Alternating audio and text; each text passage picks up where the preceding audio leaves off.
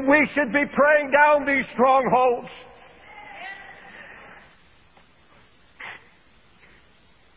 And finally, the reproach of downgrading depravity in the church.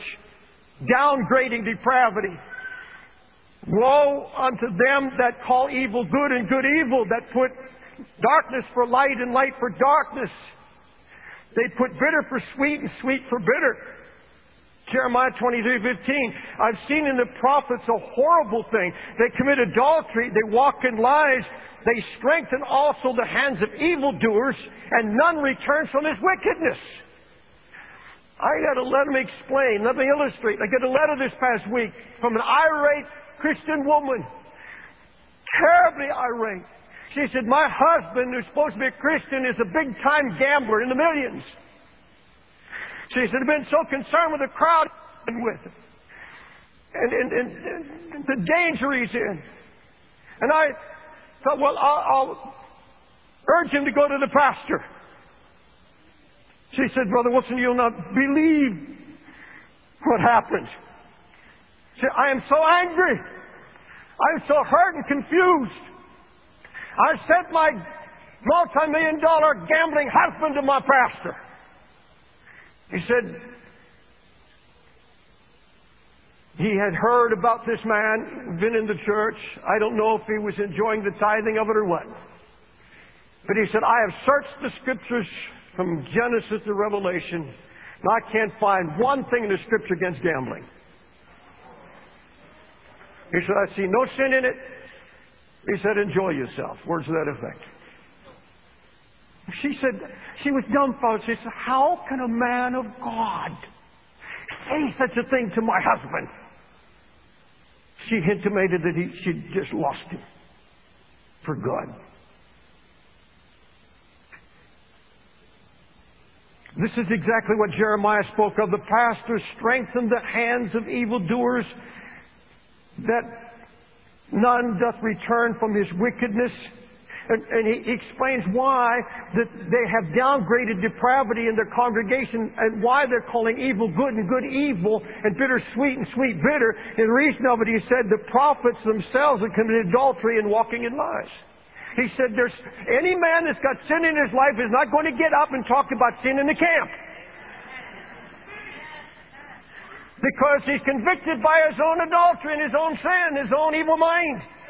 Folks, I, am not painting every minister in the country with this brush. No, the majority of ministers are on fire for God. There, there are young ministers so clean and so pure in this wicked day and age. I've met many of them, and I thank God for them. Even in this town, even in this city, I've met some of the most righteous preachers I've ever met in my lifetime. And multitudes of ministers feel just like I feel this morning, and they're looking and waiting for voices to expose that which is evil.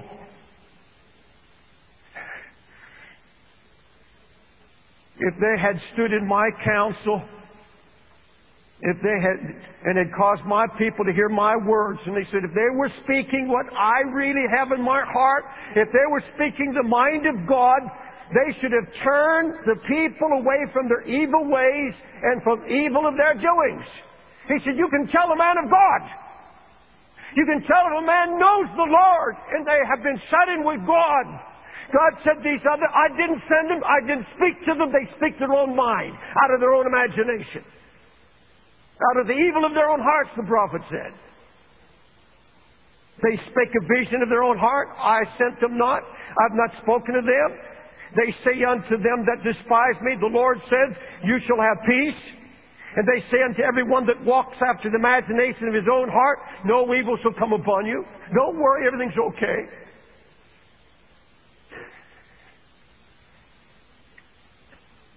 It used to be the sinful men who wanted to appease their conscience went to the psychiatrist. Now they go to certain churches.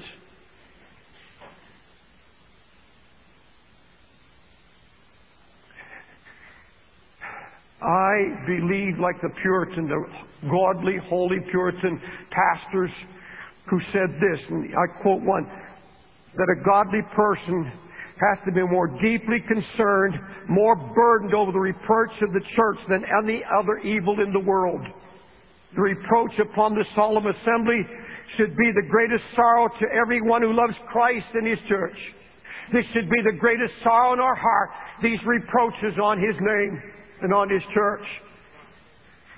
Now you may be saying, well, Pastor Dave, I just don't see it that way. I'm, I'm of a more positive mental attitude. Pastor Dave, you, you've got that morbid, prophetic kind of thing like the Old Testament prophets, and this may be your thing, but it's not my thing because I see things through brighter eyes. I see the church uh, the great blessings come. All folks, I, I believe God's going to bless His church. I believe the gates of hell will never prevail against it. I know all of that. I believe with all of my heart. But what do I do about this scripture? What do I do about the prophet Zephaniah who said in the last days God's going to raise up a people and gather them together and they're going to have a sorrowful heart over the conditions and they are going to bear the reproach. They're going to take the reproach of Christ they're going, they're going to know the heart of God. And I dare you get into the presence of God. You shut yourself in with the Lord with diligent prayer, and He's going to burn your heart. You're going to weep over the condition of the church. He's going to show you the condition. He will open your eyes to it.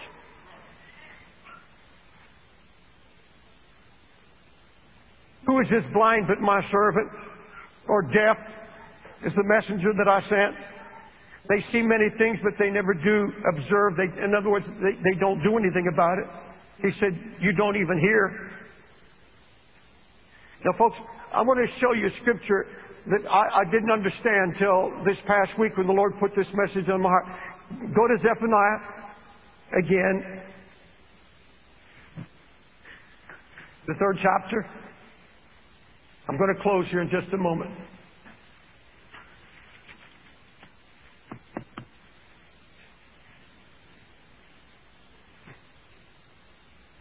I want to prove to you, look this way for just a minute. I want to prove to you that this matter of taking on the burden of the reproach of the solemn assembly is so close to the heart of God.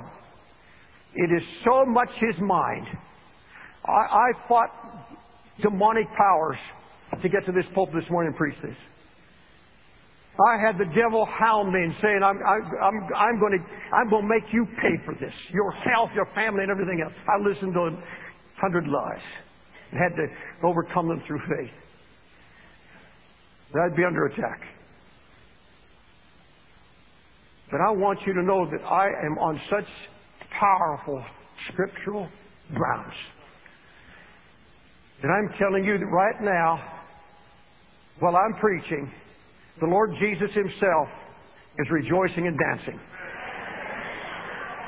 And when you take your stand, when you take on this burden of the Lord, and you take on that burden by fasting and praying over it, you our weapons are mighty through God and pulling down strong. These are strongholds in the church. You've got to stand up. We need to do it corporately. We need to do it privately. Every child of God needs to be praying against this, that God would first open the eyes of those prophets, false prophets who are preaching this, open their eyes, deliver them from this snare, and be merciful to them, be kind to them, and that everybody's in this snare be delivered.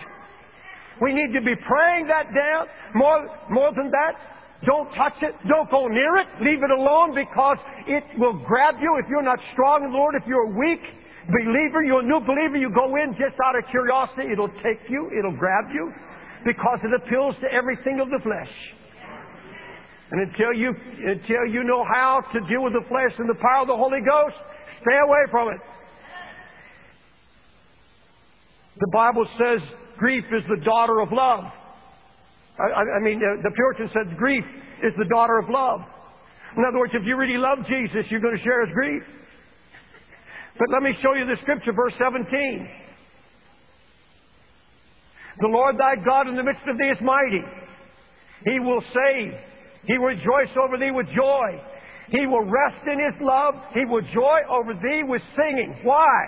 Because he's gathering them that are sorrowful for the solemn assembly, who are these to whom the reproach was a burden. He's singing over those who share his burden. I stand before you now on a rock without one iota of fear in me. I have delivered the mind of God And I tell you now in the power of this wonderful word from the prophet Jeremiah. The Lord thy God in the midst of these mighty. He will save thee, rejoice over thee with joy. He will rest in his love. He will joy over thee with singing. Why? Because he has found a people who are sorrowful over the things that sorrows his heart. Who carry the burden that he carries of the reproach of the solemn assembly.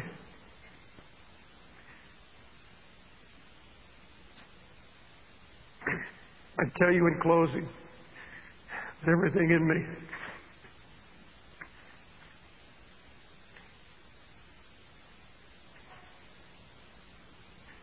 You and I need to be praying that God will raise up leaders. He'll raise up voices, fearless voices, heartbroken voices that have nothing to prove stand up against this because where it's going to end, let me tell you where it's going to end unless we begin to pray and get a hold of this burden. Let me tell you where it ends with this. I'll close. It's going to end in a love trap. A love trap. And, and, and this is what they're saying now. Uh, you'll hear these people. It sounds so loving. We love everybody. It doesn't matter what you preach. It Doesn't matter whether you're in prosperity. It doesn't matter what, what your gospel is or anything else. God is love. Let's all just get together, and embrace one another. But the Bible said, how can two walk together unless they be agreed? How can you, how can you walk with those when you don't agree with the unscriptural practices? You cannot. That's a love trap. They say, don't condemn anybody. Don't judge anybody. Oh, no, no, no. That's what the Bible says. He said we're to judge righteous judgment, reprove and rebuke with all long suffering. I'm not on a soapbox. I'm on a rock.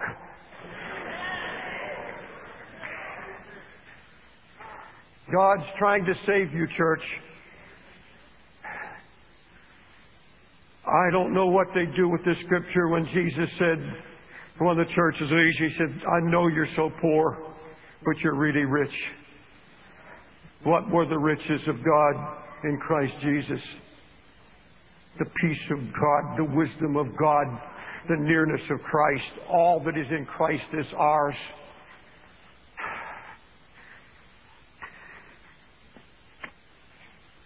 One of the past, not of this convention I mentioned, he tried to tell the congregation that that seamless robe of Jesus was one of the most expensive robes you could buy. Isn't that something? Even bring Jesus in to the doctrine. Folks, beware. Beware. Have I scared you?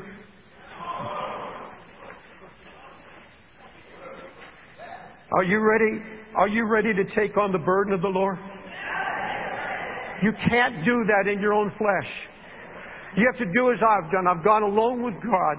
And I said, Lord, tell me what hurts you. I want to feel your pain. You know we preach a lot of love and grace and mercy in this church. The time has come now to call a solemn assembly. Will you stand?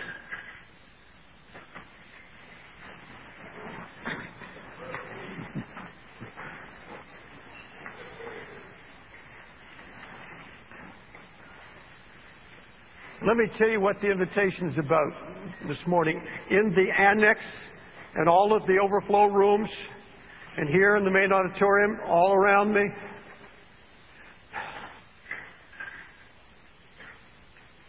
I'm going to ask this body if, if Times Square Church is your church, and if you believe what I've preached this morning, if you've got any of these tapes or books, get them out of your house. Don't give them away, burn them burn them. No clapping, please. Somebody invites you to go to these things, say, I'm sorry.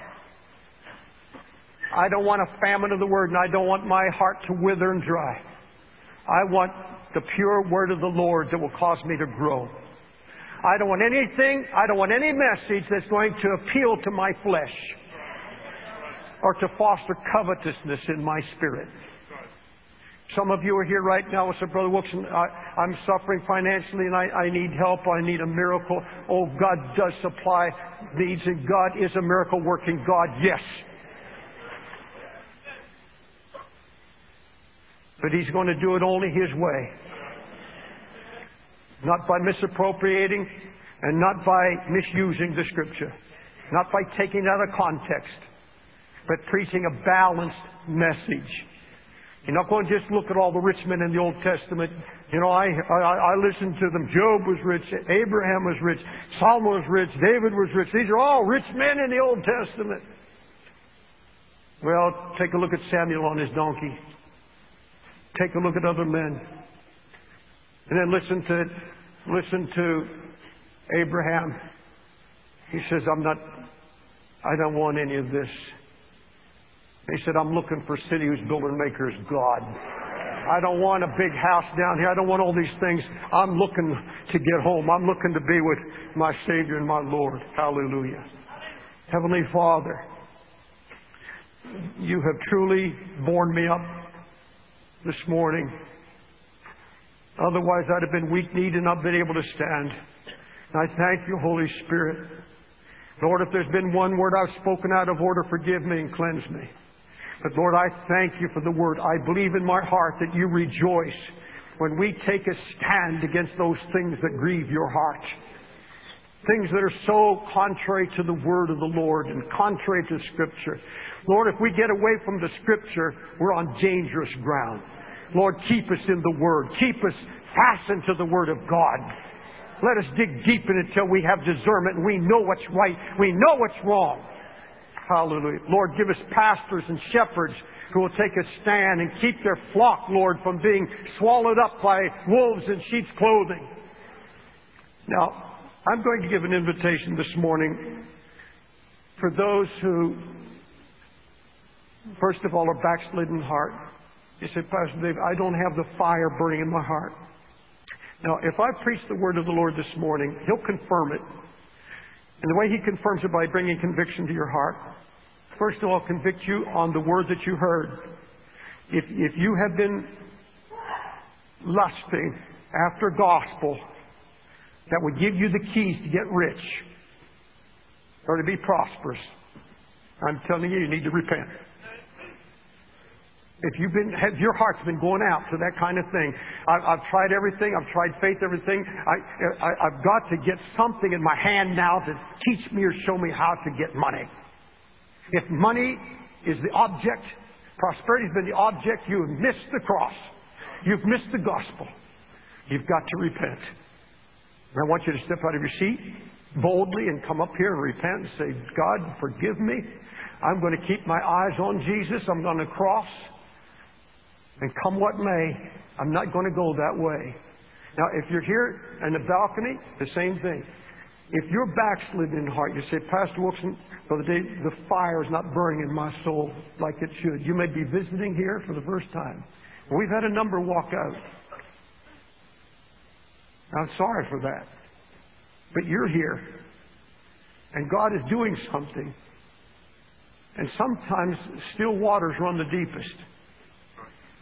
And He's doing a deep work in our heart of conviction and speaking to us.